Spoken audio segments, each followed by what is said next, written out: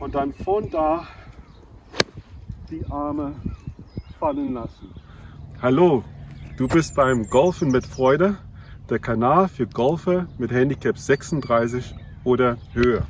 So, wenn du noch nie einen Ball geschlagen hast, einen langen Ball, oder wenn du einen Freund hast, der noch nie einen Ball weit geschlagen hat, dann habe ich eine Methode für dich oder für deinen Freund, was glaube ich gleich funktionieren wird und dir sehr helfen wird, die, Grund, die Grundlagen schon am Anfang richtig zu machen und es wird dir helfen, einfach den Ball zu treffen. So, es geht los.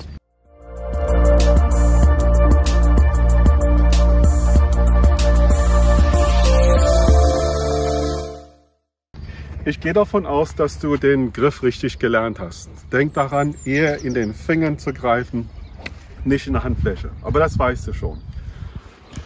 So, dann nimmst du dein Stand ein. Ähm, wie weit weg solltest du vom Ball stehen? Steh relativ nah am Ball. Okay, so, wenn das der Ball ist, das würde reichen. Den linken Fuß zurücknehmen der Ball liegt übrigens in der Mitte der Füße.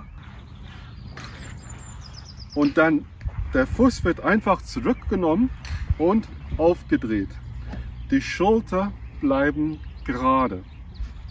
So, jetzt der nächste Schritt ist, so gerade wie möglich auszuholen. So, wenn das mein Ziel ist, ist das gerade. Ich muss nach da ausholen.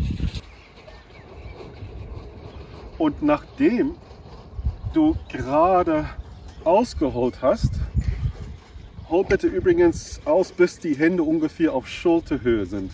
Und du merkst, der Schaft ist relativ aufrecht, äh, das Griffende zeigt zum Ball. Aber es langt, es reicht, wenn du einfach gerade zurückschwingen denkst. So, jetzt kommt der entscheidende Punkt. Verwende Schwerkraft. Also das heißt, von hier lass einfach deine Arme fallen. Und wenn du das tust, wirst du viel Power generieren. Du wirst in den Boden gehen, was ganz wichtig ist. Und du wirst automatisch das Gewicht zum Ziel verlagern. So, ich mache es vor.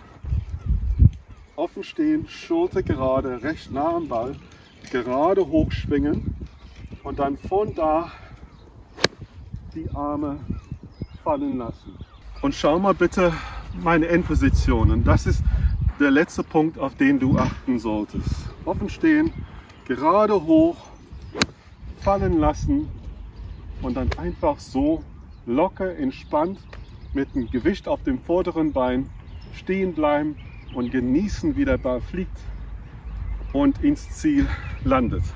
Okay, ich denke, das ist ein ganz guter erster Schritt. Es ist unkompliziert.